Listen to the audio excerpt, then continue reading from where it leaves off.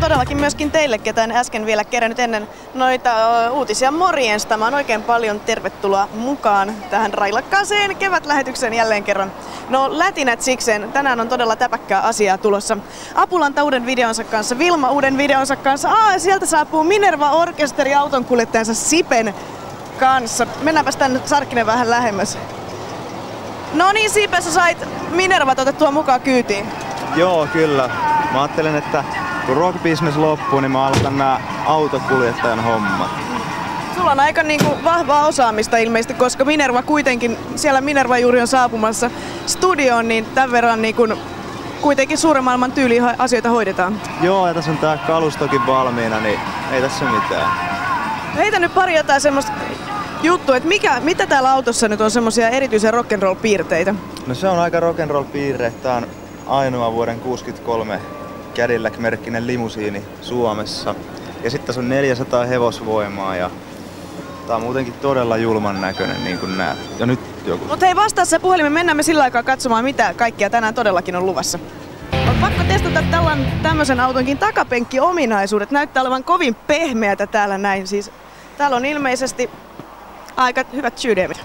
Siellä on hyvät sydämet, joo. Kyllä ne silloin osas autoja rakentaa. Parska kysyi tuolta, kuka on isoin tähti, kuka on ollut sun kyydissä? Tota, mun kyydissä on ollut ihan näitä Suomen tähtöisiä ja muutama ulkomaan tähtönenkin ihan tosta No Doubtista alkaen, mutta tähän meni valtion päämiesten käyttöön, että kuka sitä tietää, vaikka täällä olisi itse John F. Kennedy istunut aikanaan. Aivan nopska kysymys vielä. Seuraavaksi tulee Tony Braxtonin video. Kyyditsisitkö Tonia tällä autolla? Puhun Tony Braxtonista, en toisesta Tonista. Nyt kyllä mä kyyditsisin, jos se kysyisi. Minervakin kysyi ja mä kyyditsin Minervaa. Meillä on siis puhtain sydämin Sipe tänään liikenteessä. Nyt lähdetään katsomaan Tony Braxtonia. Anna mikki tänne, jää sinä.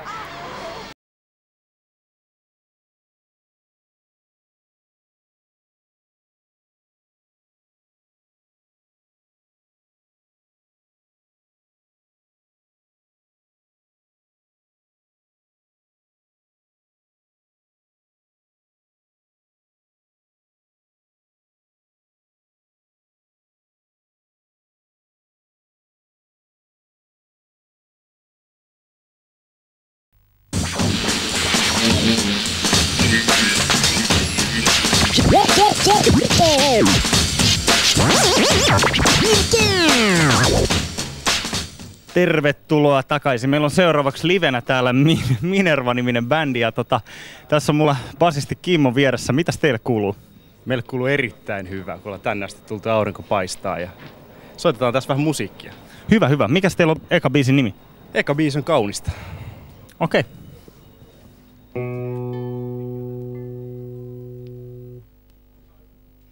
Kaunista, niin kovin kaunista, kaunista, niin kaunista, kaunista,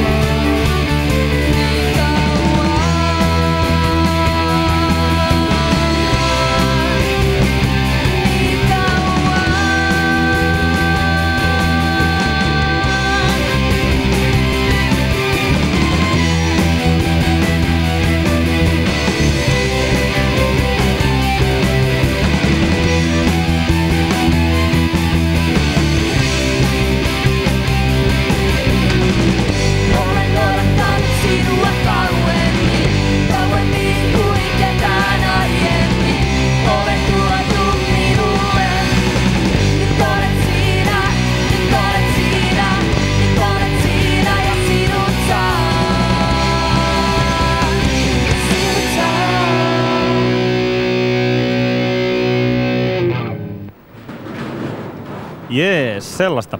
Minerva on istunut studiosta viime syksystä asti ja paiskinut töitä raskaasti tämän uuden Viaton EPn aikaan saamiseksi. Nyt levy on vihdoin valmis, näyttää tältä ja ilmestyy huone. Nyt pitää sitten penkkejäkin ruveta kääntämään tässä heti ensitöikseen. Hei, tervetuloa Sara ja, Sara ja Kimmo. Tota, mitäs, onko teillä jotain kommenttia tästä uudesta EPstä? Parempi mitä edellinen. Vitu hyvä, vitu hyvä, jee jee. Siis se on, se on niinku ihan, ihan selkeä, että kun edellinen tehtiin puolitoista vuotta sitten, niin sen jälkeen tehty joku 30-40 keikkaa. Ne näkyy siinä ihan selkeästi, että ollaan soitettu paljon. Ja totta kai musiikkikin on kehittynyt. Parempia melodioita, parempia biisejä, tarttuvampia biisejä. Tässä on ihan enemmän hittibiisiä aineesta mitä edellisessä. Vaikka ne ei ollut päähän jääviä, mutta näistä on moni sanonut, että ekalla jää jo ihan tajuntaan. Että se on hittibiisin merkki. Ei, tota, äh, miten sitten sä puhuit noista keikoista? Keikko on paljon tullut. Teillä on kiertue nyt tulossa sitten kanssa tähän samaan syssyyn. Oikeastaan kierto itse asiassa alkanut. Alkoi 28. päivä viime kuuta Heinolasta ja sen jälkeen ollaan käyty Porvoossa. Ja nyt alkaakin sitten tiukempi putki, että huomenna Tampere sitten Helsinki ja Vantaa ja näin päin pois. Sitten seuraava viikko on Ylivieska, Suonenjoki, Joensuu. Joensuu, Vaasa, taa. Kierretään maa. Ilosaari Rockissakin soitetaan kesällä ja tämmöistä. Alright. Mites kun teillä on, teillä on Gloriassa ollut tämä Marikki-näytelmä, tai ei teillä vaan Gloriassa esitetty Marikki-näytelmä, jossa on teidän musiikkia yksi biisillinen, niin ootte sitten nyt vetämässä niin sanotusti U2, eli levittämässä seur- seuraavaksi jotain leffa varten musiikkia vai? Totta kai, totta kai. Juu, juu. Tehdään jatkossa Star Warsin Minerva Musea. Nimenomaan. tota, Ne. Ei. ei, ei, siis toikin oli, toikin oli aika hassu, hassu tapaus sille, meiltä vaan meidän kitaristi Jukka kysyi, että hänen, hänen serkkunsa oli siellä mukana ja oli kysynyt, saako meidän biisejä käyttää. Me oltiin vaan oltu jossain keikkareissa, me oltiin, että juu, juu, saa, saa, saa käyttää. Sitten viime viikon alussa saatiin liput yhtäkkiä, että sunnuntaina onkin ensi ilta. Me oltiin ihan niin kuin, mitä ihmettä, ei tiedetty edes mikä, mikä koko juttu on. Niin sitten mentiin katsomaan ja kyllä siinä oli käytetty biisejä ja oli semmoinen jännä tilanne, että siellä oli joku saanut semmoisia visioita siitä biisistä, mitä itse ei tullut edes ajatelleeksikaan. Ainakaan mä en ollut tullut. Joo, kun näissä teidän kappaleissa, mitä mä oon tuossa kuunnellut, niin on mun mielestä jonkun verran sanottava, niin se on kyllä samon, sanomaan, että ne ei ole tällaisia I will love you always, forever together hommeleita, niin tota, miten, miten nämä syntyy, nämä teidän biisit? No eihän siinä ole tollasia pätkääkään. nyt, nyt sä oot niinku mies ymmärtänyt ihan väärin. kun- Eikö mä nimenomaan sano, että niitä ei ole? Right, eli sit mä oon... no, en mä mikään tyhmä oo, noin. tota, siis joo, no mulla on tää juttu, että ensinnäkin mua vähän silleen, mä en tykkää, että kun aina lauletaan rakkaudesta ja ehkä mä oon niin pikkunen, että mä en ymmärrä sitä itse vielä mitään, niin sit sen takia. Mut, et, en mä tiedä, mä, mun mielestä tuntuu aina niin kauhean kliseiseltä ja jotenkin niinku sellaiselta teennäiseltä kirjoittaa rakkaudesta biisejä. Että onhan tossa vähän sellaista, mikä on sitä aihetta, mutta sitten se on vaan ilmaistu toista reittiä kielikuvien kautta ja mulla tavalla. Mites Kimmo, kun sä puhuit, että teillä on toi musiikki kehittynyt, niin onko teillä käynyt tällaista niin sanottua metallikallekin käynyttä ilmiötä, eli ne, jotka teistä on aluksi hirveästi digannut, niin on sitten sanonut, että joo, se Minerva on nykyään sitten ihan sellainen niin kuin joku pop-orkesteri, että vai onko ne edelleen ne fanit uskollisia, mitkä aluksi oli? Fanit on uskollisia ja on käynyt jopa sellaista nyt viime aikoina, että semmoista, jotka on aluksi heittänyt suunnilleen kiville ollut sitä mieltä, että te olette, ihan niinku, te olette tosi syvältä, te ette osaa soittaa, teillä on ihan huonoja biisejä, te ette osaa yhtään mitään, niin ne nyt tulee hakkaa selkää keikan jälkeen. Tiedätte, että te olette, te olette kehittyneet, te olette hyvin, mä dikkaan teidän biiseistä nykyään. Että, että se on ollut positiivisesti, että niin on käynyt, koska nyt ollaan saatu monelle semmoiselle todistettua, jotka jonkun muutaman hassun keikan jälkeen on todennut, että teistä ei tule ikinä mitään, niin nyt on niille päässyt näyttämään, että hähä, Hyvä, hyvä. jotain tullut. Hyvä, hyvä, loistavaa. Hei, me kuunnellaan teitä tänään vielä toinen biisillinen, mutta seuraavaksi meillä olisi sitten luvassa Apulannan video Ei yhtään todistajaa.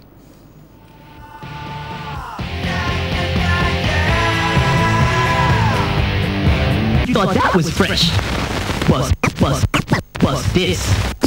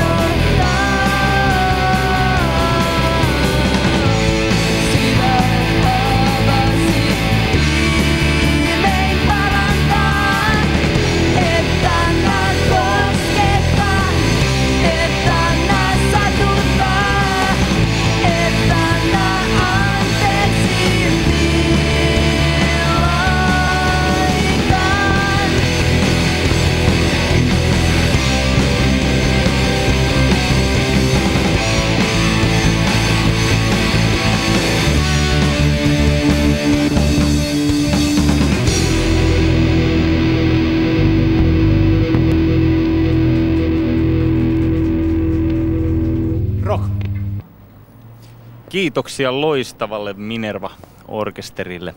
Meillä on seuraavaksi luvassa faksiosuus ja mä haluaisin aloittaa tämän faksiosuuden tämän homman.